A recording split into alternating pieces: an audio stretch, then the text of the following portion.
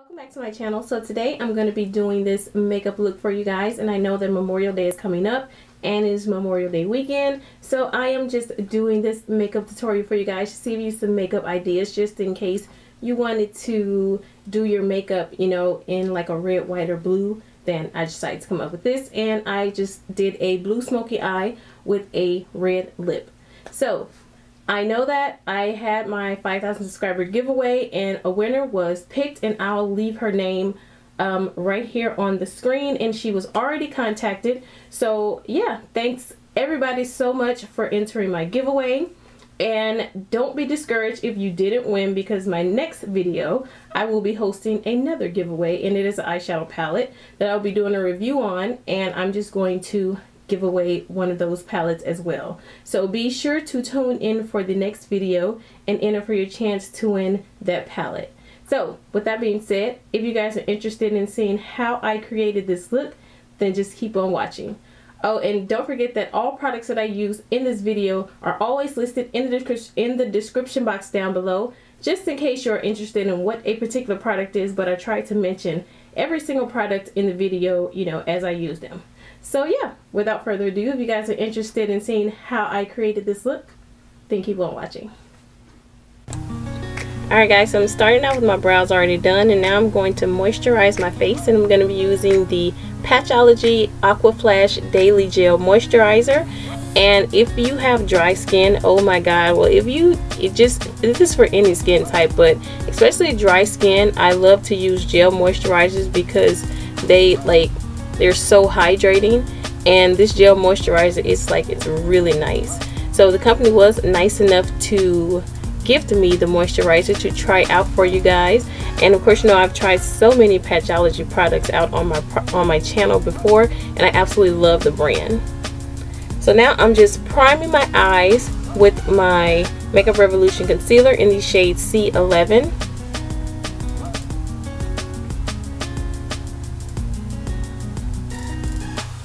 and then I'm just going to set that in place with my Rimmel London Stay Matte Press Powder in the shade Transparent.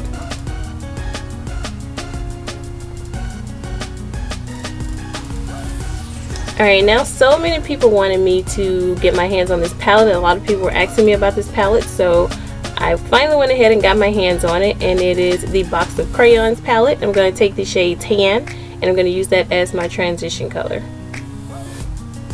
Now, if you guys want a separate video on this palette, just let me know. Like if you want swatches and just a dedicated look, just a dedicated video to this palette, just let me know because I do plan on doing more looks with this palette because I didn't use it as much as I wanted to in this video.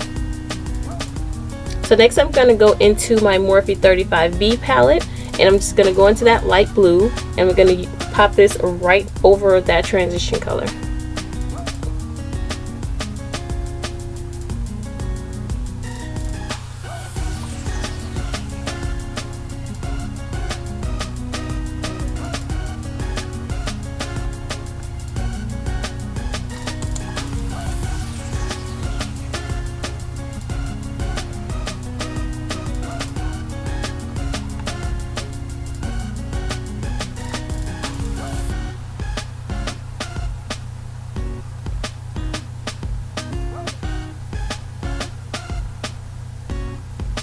Alright, next up I'm going to go into a deeper blue shade and I'm just going to use this directly in the crease and that's just to define that crease a little more.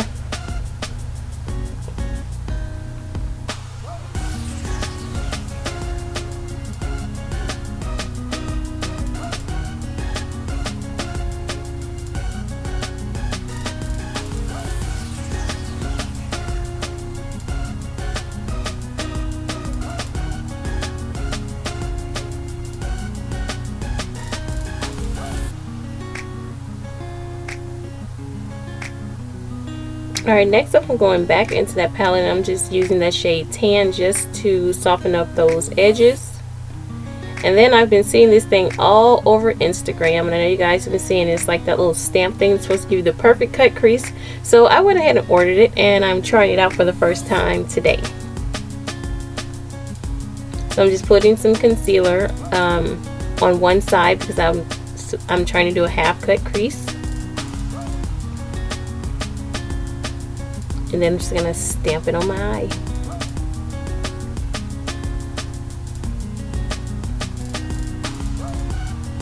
Which clearly didn't turn out to work that great. Um, I'm going to try to fix it off camera.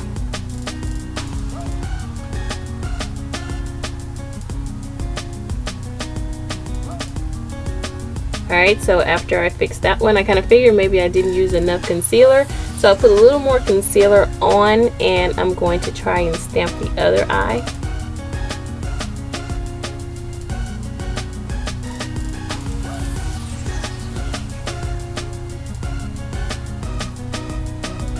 I mean, and that one did pretty good, but it just, it cut it up way too high. So apparently I need a lot more practice with this thing.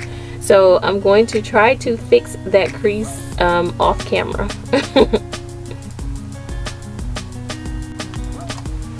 Alright, so now I kind of fixed my crease off camera. I'm go going to go into that really deep blue and I'm going to use this to smoke out the outer V.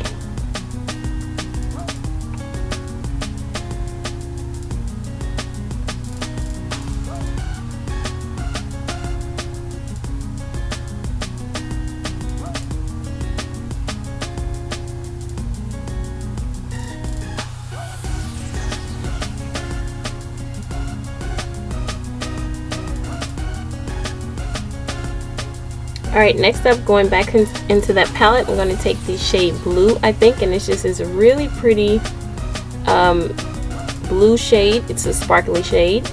And I'm going to pack this all over my lid. I did wet my brush.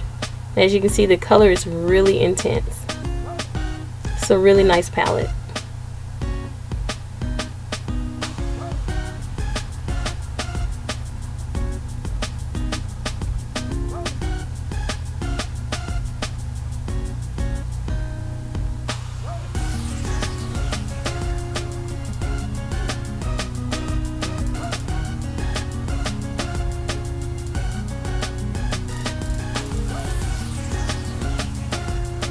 Alright, now going into that cream shade in my Morphe 35B palette. I'm just going to use this to um, set my brow bone highlight.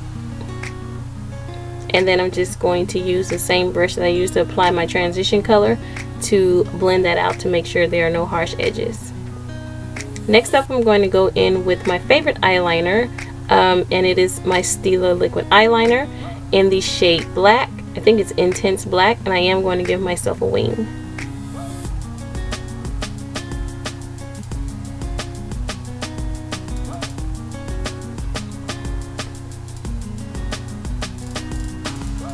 Alright, next up I'm going to use the Ardell Faux Mink Lashes in, the, in Demi Wispies.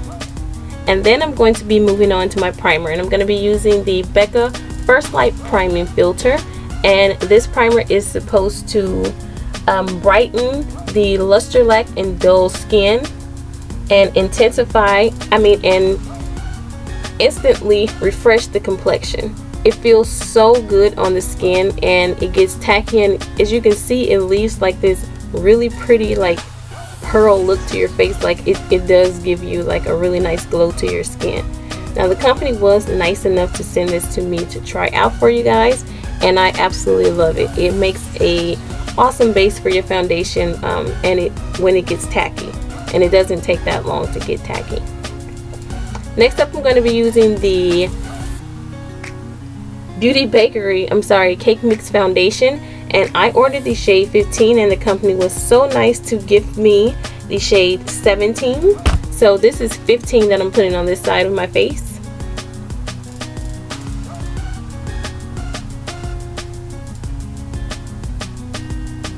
And this is 17 which I love the yellow in 15 but I love how I like the color better um, in 17 so I'm just mixing the two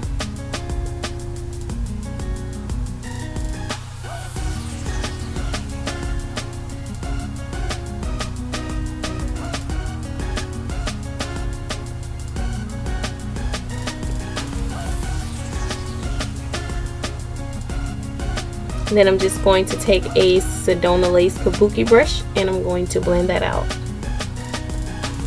Now I did feel like the brush made this foundation look kind of streaky so I did go back over it with my beauty blender but this um, foundation does dry down to a matte finish so if you have oily skin, you will absolutely love this foundation.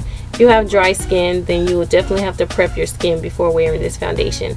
And it dries down really fast, so you have to make sure if you put it all over your face first, you work really quickly with it. Or apply it, you know, like one section at a time.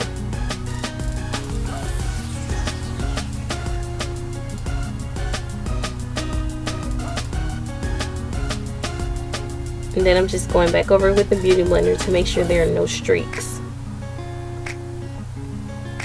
Next up, I'm going to be using my Laura Mercier concealer. Um, and I think I have the shade 9N, which is the second shade from from the last. So yeah, I got not the deepest shade, but the shade right before that. And I'm going to use this to highlight. Now I do feel like this is like a little close to my skin tone because when I blend it in you can barely tell that I have on concealer. So I'm going to add my Becca concealer on top of that. And it is the under eye brightening corrector. And this is a corrector and it is like so bright. So I use this corrector to um, to brighten up the concealer underneath my eyes and then I just added some to the other parts of my face that I highlighted also and this concealer is really really creamy. I really love it. So it's supposed to brighten and correct. And this came with the Becca First Light priming filter. So thank you so much to Becca for sending me these products to try out for you guys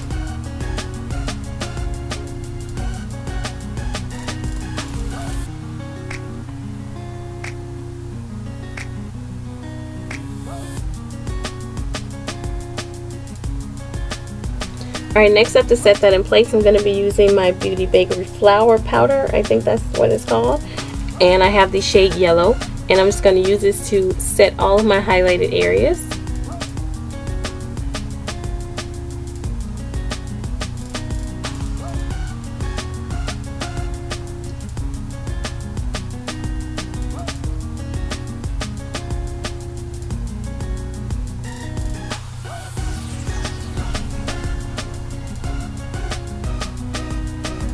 Alright, next up to add a little color back to my face, I'm going to be using my Anastasia bronzer in the shade Mahogany.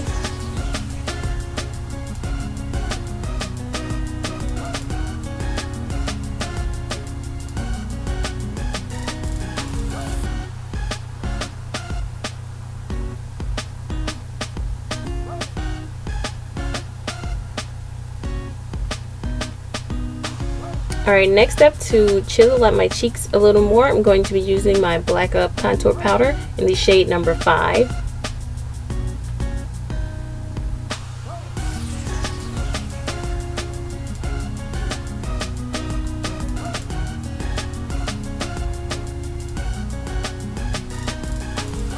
And then I'm just going to use that same Black Up powder and I'm just going to pinch my brush and I'm going to use that to contour my nose. Alright, next up to set my entire face, I'm going to be using my Sephora Micro Smooth Powder in the shade Mahogany.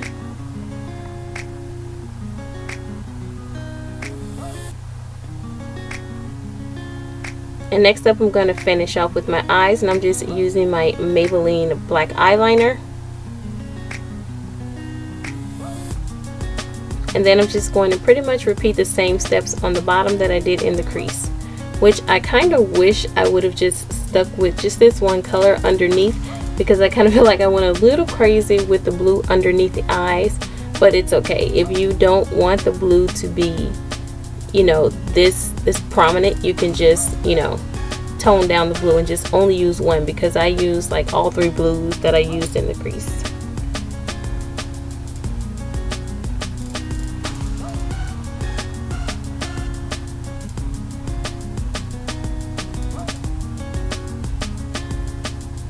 Alright, next up I'm going to take the shade White from that palette, which is just like a shimmery icy white. It's so pretty and I'm going to use this to add in the inner tear duct.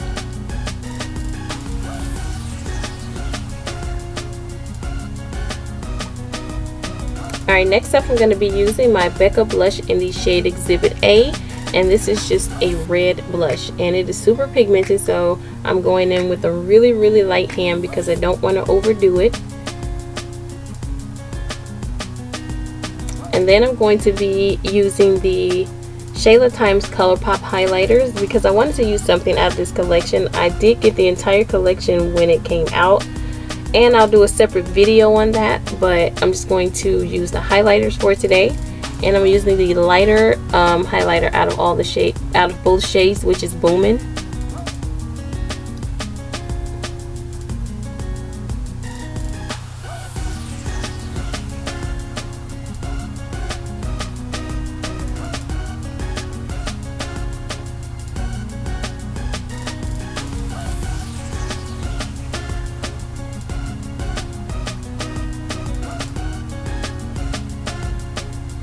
Alright, then I'm just going to spray my face with some Fix Plus just to take away that cakey look and then I'm going to move on to the lips. So I'm, moving, I'm using my Kylie lip liner in the shade Mary.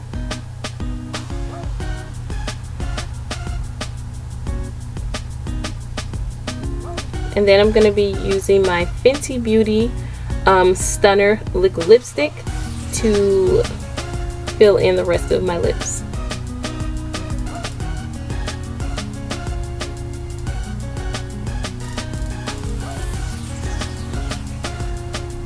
And then I'm going to set the rest of my face with my Milani Make It Dewy Setting Spray. And that completes the look. Thank you guys so much for watching. Don't forget to like, comment, and subscribe for more videos from me. Don't forget that when my channel reaches 10,000 subscribers, I will be having my next big giveaway. So don't forget to subscribe for your chance to win. Until the next video.